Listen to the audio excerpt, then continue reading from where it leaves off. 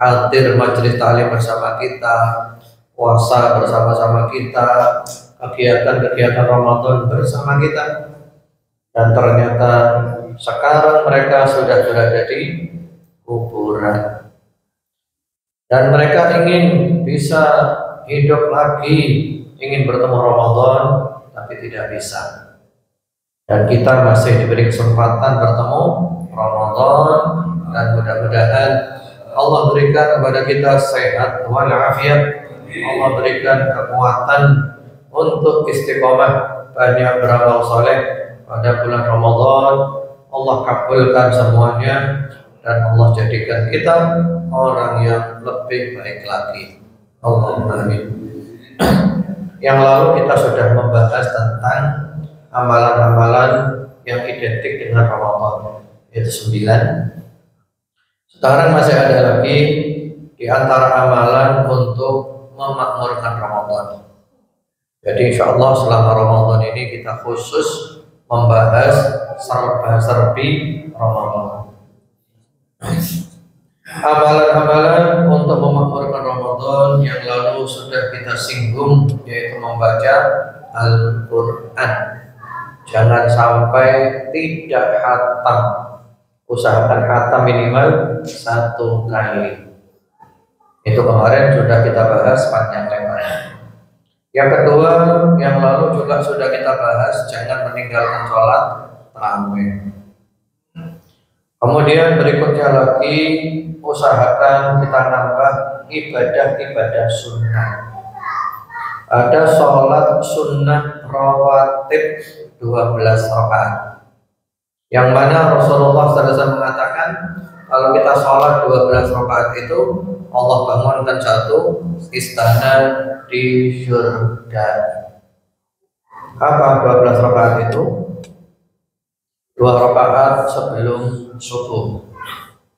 Empat rakaat sebelum duhur. Dua salam dua salam. Dua rakaat setelah duhur. Dua rakaat setelah maghrib dan dua rakaat setelah isya. Dua belas rakaat satu ismana di surga itu hadisnya sahih. Kalau kita mau nambah lagi sebelum asar ada empat rakaat dua-dua silakan. Terutama yang dua belas tadi dan itu para ulama menyebut apa namanya sunnah muakkadah yang sangat ditekankan.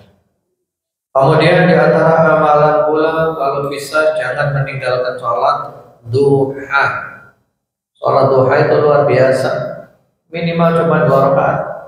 Yang mulai pagi sekitar setelah adzan subuh itu satu jam setengah atau dua jam sampai menjelang duhur sekitar lima menit. Itu waktu duha semuanya.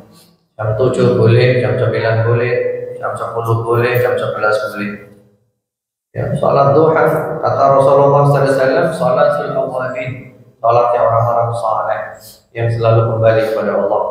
Apalagi ya kata Rasulullah SAW, di dalam tubuh kita ada 360 persendian.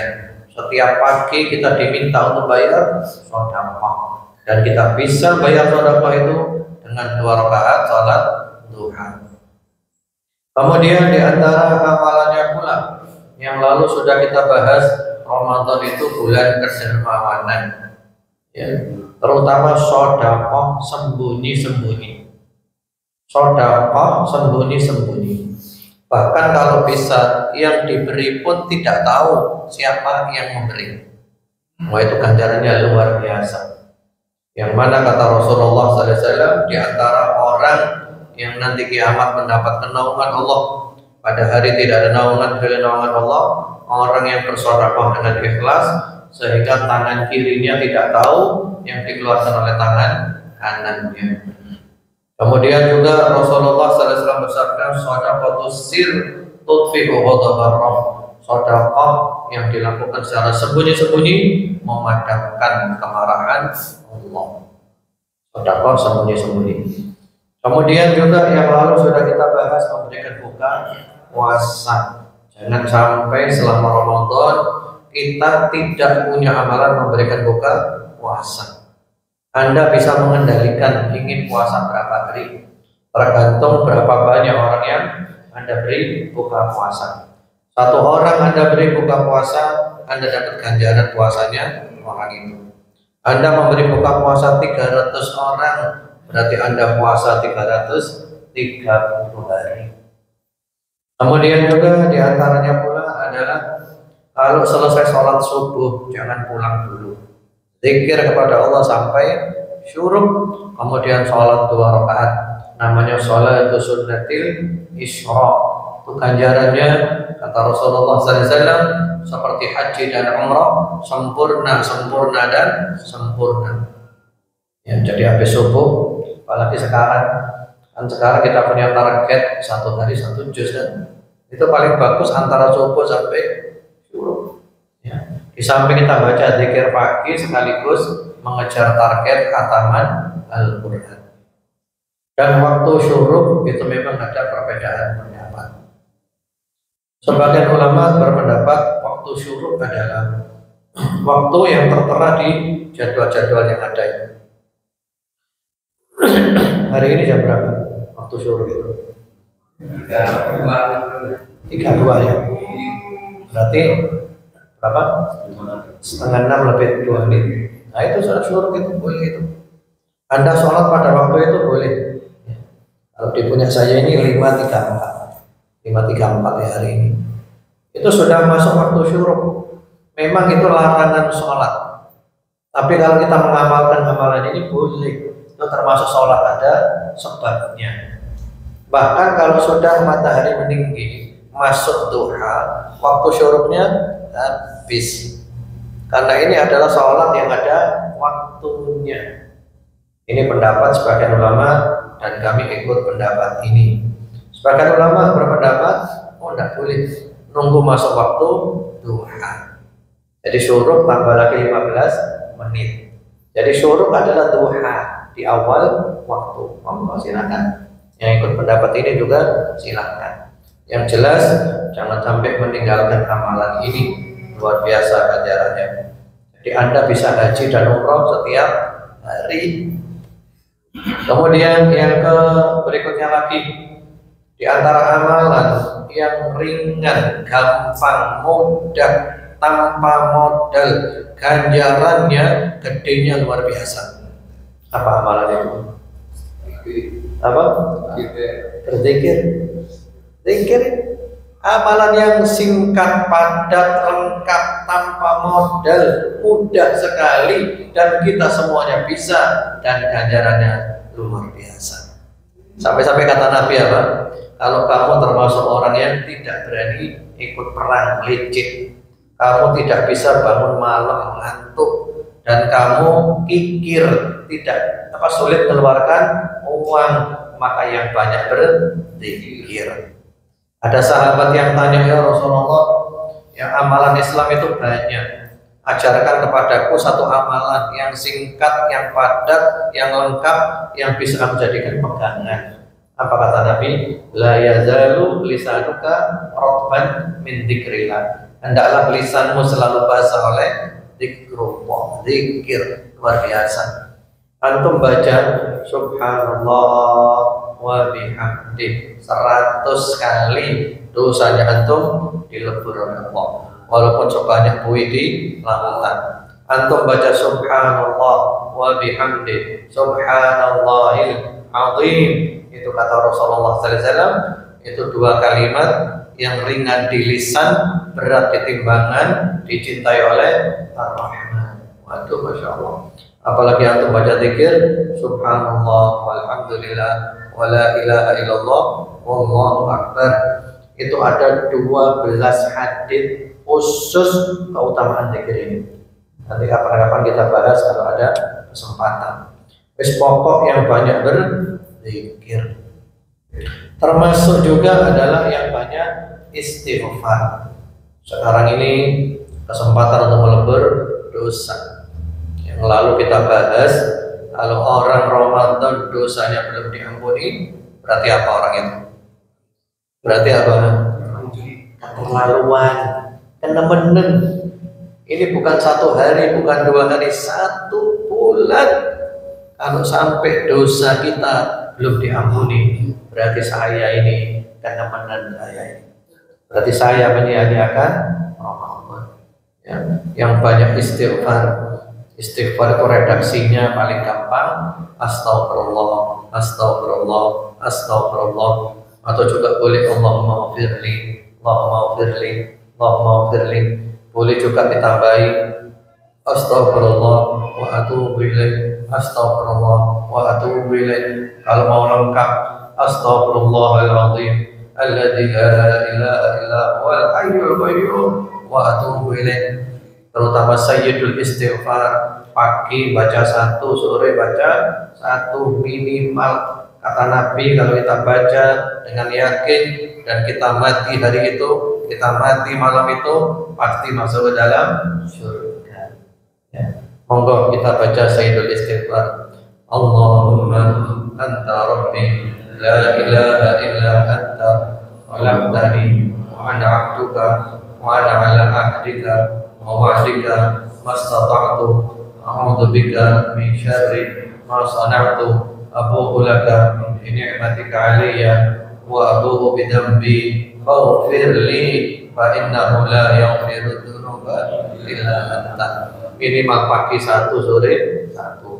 Kemudian di antara amalan yang perlu kita perbanyak adalah bersolawat dan salam kepada Rasulullah ini amalan yang dahsyat luar biasa. Inna Allah wa malaikatahu yusalluna ala nabi. Ya ayyuhalladzina amanu sallu alaihi wa sallimu taslima sebelum Allah perintahkan kita Allah beritahu dulu kita Allah dan malaikat salawat dan salam kepada Nabi wahai orang beriman ucapkan salawat dan salam kepada Nabi ini amalan yang luar biasa semua kek salawat anda untung, Anda sukses, Anda bahagia, Anda selamat, Anda barokah dunia akhirat. Minimal kita baca Allahumma salli ala Muhammad wa ala ali Muhammad. Kita baca Sayyidina kalau di luar sholat boleh Allahumma salli ala Sayyidina Muhammad wa ala ali Sayyidina Muhammad. Ya, minimal seperti itu. Kita baca lengkap sampai inna hamidum majid juga bagus. Demikian Bapak Ibu sekalian di antara amalan untuk memakmurkan Ramadan. Allah nanti selasa depan kita lanjut hal-hal yang berhubungan dengan bulan Ramadan yaitu serba-serbi Ramadan. Wallahu a'lam. Monggo kalau ada yang mau ditanyakan, Fadal silakan. Waalaikumsalam warahmatullahi wabarakatuh. Iya. Fidyah itu untuk orang apa? Orang sakit apa? Tidak bisa sembuh. Iya, orang sakit itu kalau masih bisa sembuh dan bisa bayar utang mengkodok, mengkodok bukan bayar fidyah. Jadi fidyah itu orang sakit yang tidak bisa diharapkan kesembuhannya selama-lamanya. Misalnya orang kena kanker stadium 4 tidak mungkin sembuh, tidak mungkin bisa puasa, baru dia bayar fidyah. Atau orang tua tidak kuat puasa, tapi dia tidak ikut, dia sadar, dia normal, cuma tidak kuat puasa, maka bayar fidyah. Tapi kalau sakit jantung kan masih bisa sembuh. Berarti nggak mungkin sembuh kan? Nah kalau memang nggak mungkin bisa puasa, baru bayar fidyah. Fidyah ta'amu miskin. Satu hari memberi makan satu orang miskin sekali makan. Ya, antum bisa milih dua. Yang pertama memberi makanan siap saji. Nah dia kalau makan itu sekali makan nilainya berapa? Misalnya nilainya 50 ribu, Berarti setiap hari harus memberi makan siap saji senilai 50 ribu satu orang sekali makan. Atau bisa juga memakai makanan pokok. Kalau kita beras satu mut, satu mut itu seperempat sok. Satu sok itu dua setengah kilo. Jadi satu mut 625 gram per hari. Tapi kalau mau lebih afdol lagi, digenapkan satu kilo. Jadi tiap hari memberi makan, eh, memberi beras satu kilo diberikan satu orang miskin. Boleh setiap hari, boleh juga nanti di akhir Ramadan sekalian. Seperti sahabat Anas itu ketika sudah tua dan bisa puasa di akhir Ramadan mengundang 30 orang miskin untuk makan-makan tapi jadi distribusinya itu fidyatun ta'amu miskin, orang miskin. Orang miskin itu yang kebutuhannya belum tercukupi ya dalam setahun. Jadi ukurannya bukan hari ini, bukan besok, tapi setahun. Misalnya dia punya kebutuhan setahun 50 juta. Nah dia cuma punya 40 juta. Ini masuk kategori miskin. Seperti itu. Dan masih banyak orang miskin di sekitar kita. Jadi itu distribusinya Allah Jelas? Monggo kalau ada lagi monggo. Berkaitan dengan Ramadan ini ya nanti maksud daripada Allah itu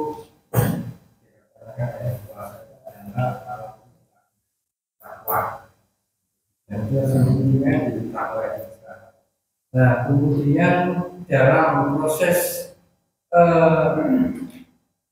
Ramadan puasa dan bagian amal bagian itu uh, mereka melakukan amalan berbeda-beda ya ada yang ibadah sudah rumah terus satu hari ada yang empat kali sehingga uh, memberikan satu penilaian itu seakan-akan uh, ada semacam derajat takwa.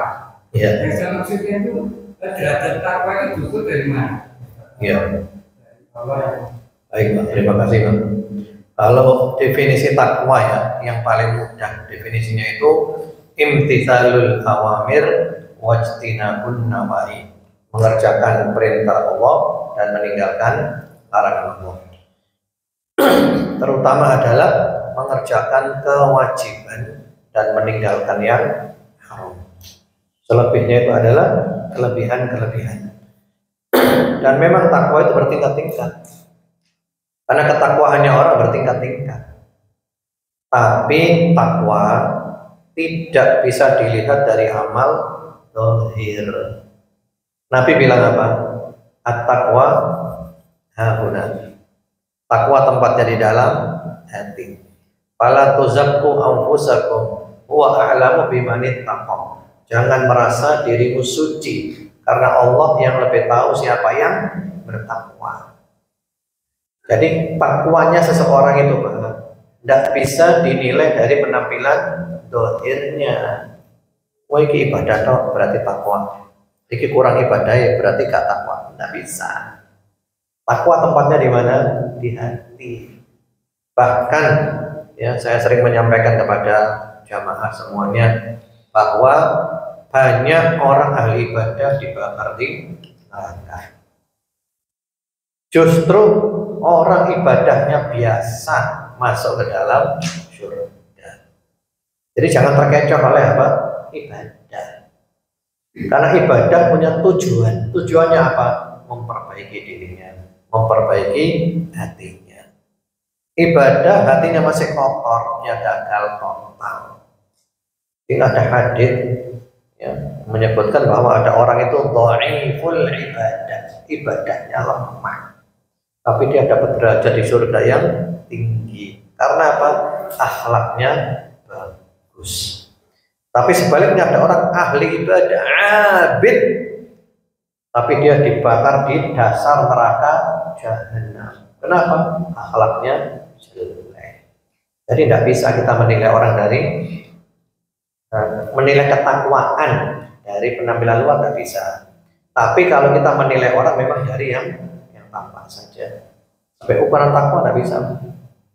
Takwa itu yang tahu di antara kita saja. Yang paling takwa siapa? Tidak tahu. Bukan berarti saya yang berada di sini drama pakai jas gini pakai belum belum tentu. Allah maha tahu amal kita. Semuanya siapa sih paling takwa? Gusti Allah sing roh.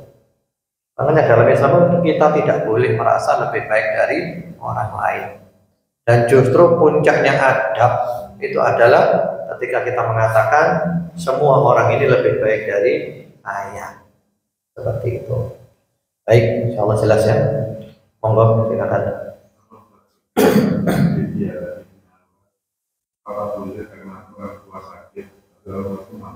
Iya. Kemudian dia pada salah satu putranya yang sudah tapi tidak mampu. Nah itu. Nah masalahnya Pak, seperti zakat, fidyah dan misalnya itu itu tidak boleh diserahkan kepada usul dan furu. Usul itu atas kita, bapak, ibu, kakek, nenek ke atas. Furu itu bawah kita, anak cucu ke bapak. Karena kewajiban kita kepada mereka adalah memberikan nafkah. Jadi tidak boleh, Pak. Kalau kepada paman, bibi, sepupu boleh. Kepada kakak, adik boleh. Ini tadi yang kepada anak kan. Dan kalau anak jangan. Karena para ulama mengatakan usul dan guru itu tidak boleh diberikan zakat. Zakat hanya nggak boleh apalagi fidyah. Seperti itu. Demikian Allah malam. Baik, insya Allah cukup ya. Insya Allah ketemu lagi selasa depan. Mudah-mudahan Allah berikan kepada kita semuanya sehat walafiat istiqamah sampai husnul khatimah. Allahumma amin. وصلى الله وسلم على سيدنا محمد وعلى آله والحمد لله رب العالمين سبحانك اللهم وبحمدك أشهد أن لا إله إلا أنت أستغفرك وأتوب إليك Wassalamualaikum warahmatullahi wabarakatuh.